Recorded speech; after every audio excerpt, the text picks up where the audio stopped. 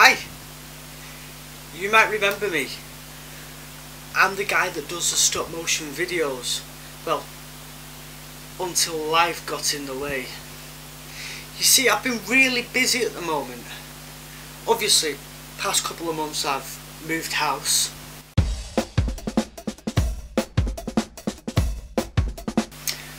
Been decorating. I went to Ibiza.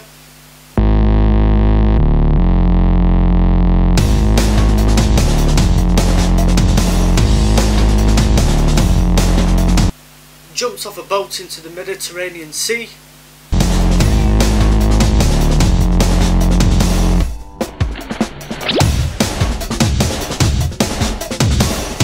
Had a discussion with myself about how I can develop this YouTube channel and make it even better. And well, I'm back and this is the start of the future of this channel and I have a brand new series coming to you and it starts today. It is called Stop Motion Challenge and this is where you challenge me to create a tutorial within five minutes. And I have five minutes to do it. And it starts today right now. And obviously I haven't had time to ask anyone. So this is the first and only time that I will just do my own five minute challenge and then I want the rest to come from you guys yourselves. So I have my mini-me here who is a bit under the weather It will be now his head's fallen off. But more to the point, his hands. Now, these are the first things that go, these are the ones that need the most maintenance and it's because they are used so much and they've only got little wires inside. They snap quite, quite quickly. So, we're going to cast some more hands. We are going to make more mini-me hands out of silicon and it's all going to be done on a five minute challenge. It's a stop motion challenge so let's get five minutes on the clock. And let's begin. Just feeding the wire through the holes to make the fingers put little bits of milliputs on the end of these because they're sharp, pointy. You want to get rid of that so it stops trying to pierce through the silicon and then obviously you see the wires through the fingers. We don't want any of that so I'll milliput the ends of these but I'll just do the other one on this side here and then we're almost there.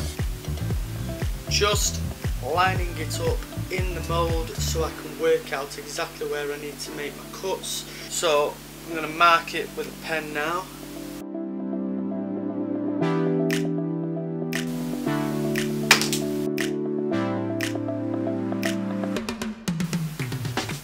Okay, time to bang in the oven. They fit into the moulds perfectly. So the next stage now, as you can probably see from everything that I've got out, is to start working on mixing the silicon so that it's uh, the colour of skin. So, we're going to start weighing it out. Two parts silicon, parts A, part B, equal parts, 50-50, dead simple get part up, we're going to weigh about 40 grams, something like that.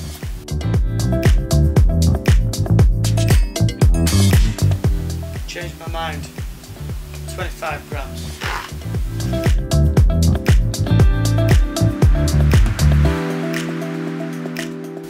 Twenty-five.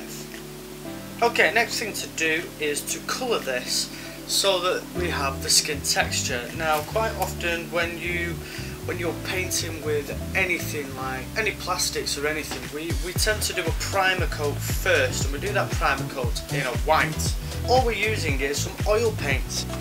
So what I'm going to do is put a little dab of white, white oil paint into both of these and it will start to form a white paste colour and give us a bit of a primer.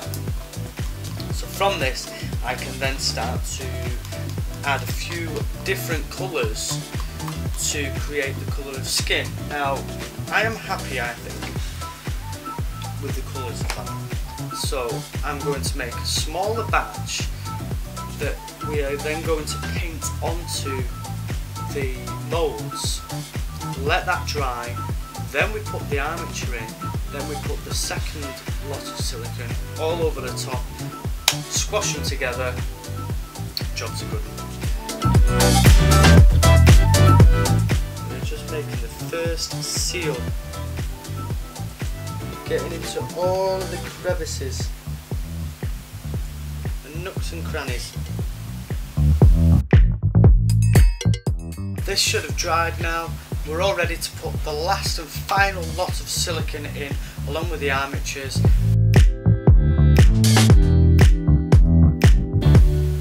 Right in the centre and then I'm going to push it out into the fingers. Let's get our armatures into place. So we're going to pop these in now. Here we go one part straight over the other part. We're going to press down like crazy. These have been left to cure, they've been in the oven, they are now ready to prise open. Let's start with this first one.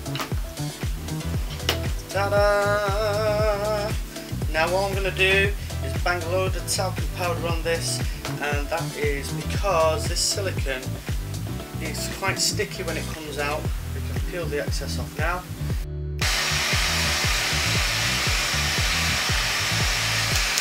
And you have no seam lines.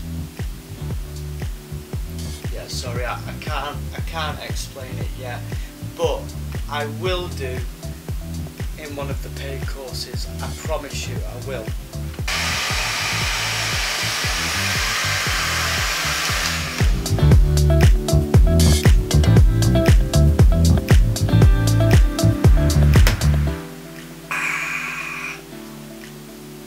I've got time.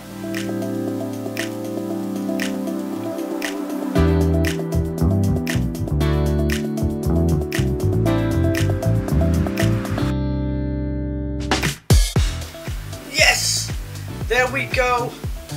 Five minute challenge, stop motion style, done, dusted.